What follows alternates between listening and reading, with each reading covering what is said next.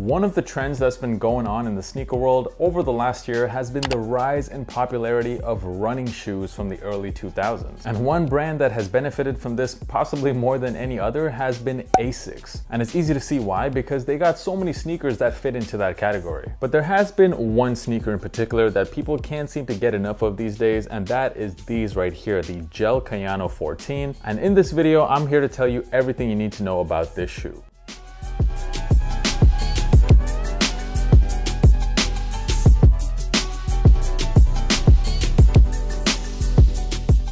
So it's very possible that for a lot of you guys watching this video, the first time you ever heard about this shoe was when these came out. These are the JJJJound ASICS Gel Kayano 14s. Those turned out to be so popular that resale prices right now are pretty much in the stratosphere. And they're pretty much out of reach for most people, but luckily ASICS since then has released several general release colorways that look pretty much identical to the JJJJounds. The first was this Midnight Navy colorway, which by now is definitely sold out in most stores. However, the pair I have right here is the upcoming metallic metallic plum colorway, which is actually already released in Europe. And for those of you in North America, these will be releasing over there on July the 1st on the ASICS website as well as other retailers. So make sure you circle that date on your calendar. The retail price for these will be $150, whereas here in Europe, they retail for a slightly higher price of 160 euros. So what do we need to know about this shoe? Well, this is the Gel Kayano 14. It's part of the Gel Kayano series, which is already right now in its 30th year. Yes, we actually actually already have the Gel Kayano 30, which is available for sale now. But you could argue that from this entire series, it's possible that the 14s, as well as maybe the Gel Kayano 5s, have proven to be the most popular from this line and they have somewhat of a cult following among fans of the brand. And for that reason, ASICS has continued to produce so many colorways of this shoe throughout the years. And looking at this shoe, it's pretty much the most Y2K running shoe you can think of. First of all, it has that big hole mesh all over the sneaker, which is not something you see with newer running shoes these days. And then of course, all over the sneaker, you got these metallic silver hits, which are made out of synthetic leather. And this colorway, the plum metallic, is very identical to the JJJJounds. Pretty much the only difference is at the back, one of the panels, actually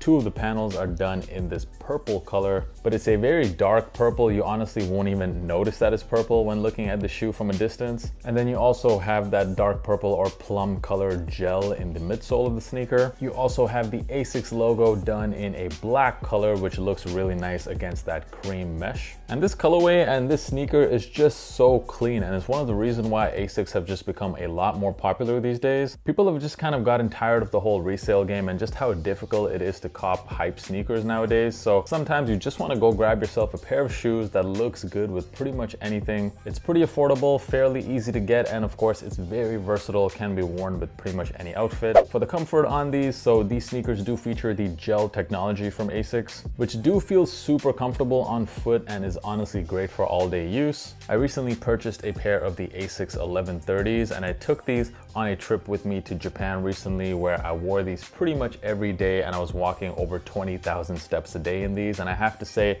these held up amazingly and they were very comfortable to walk in. So I do swear by the gel technology. It does feel great on feet. I would say these shoes actually do feel more comfortable than the New Balance 2002R or the 1906 because the cushioning does feel a bit softer on feet. It's not as comfortable as a New Balance 990 series, for example, but for the price, value for money, I think you're getting a very comfortable shoe. And for sizing on these, so for me, I prefer to go a half size up in the Gel Kayano 14 than my true size. I don't fit the same in all ASICS shoes, so in the 1130s, I actually fit true to size in that one. However, in some other ASICS sneakers like the Gel Kayano 5 or the Gel Lyte 3s, I do fit a half size up. I find these a bit narrow in the midfoot area, so going a half size up, I would personally recommend, but I don't think it is a one size fits all. For a lot of you guys, you might think that true to size fits perfectly. I do suggest trying the shoe out in store for yourself. To give you guys a bit of a reference point, if you've never worn a pair of ASICS before, I do fit a size 11 or my true size in most Nike sneakers like Nike Dunks, Air Maxes, or Jordan 1s. But in the Gel Kayano 14s, I do prefer to go a half size up to an 11 and a half. Overall, I do think the Gel Kayano 14 is one of the best shoes you can buy right now if you think about how good they look, how versatile these are, you can get a lot of use out of them, and also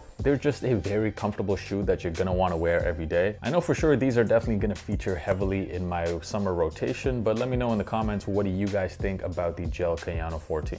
I also just wanted to highlight how much momentum ASICS right now has as a brand. Not only have they had a lot of excellent general release colorways, they've also really been killing it in terms of collabs. They released a new model this year called the Gel NYC, which has gotten a lot of popularity for its comfort and looks. And they do have another upcoming collab with Kith on the Gel Kayano 14s, which I'll be honest is a pretty similar colorway to the shoe I'm holding in my hand right now. And there's this also even more interesting collaboration with Unaffected, which is a Japanese brand. It is shaping up to be a very strong year for ASICS. And if you found this video useful, make sure you hit that subscribe button. It really helps out the channel. I'm dropping a lot of content, at least two to three videos every single week. You can find the links to all my social media in the description as well as the link to my sneaker podcast. I'll catch you guys in the next video. Peace.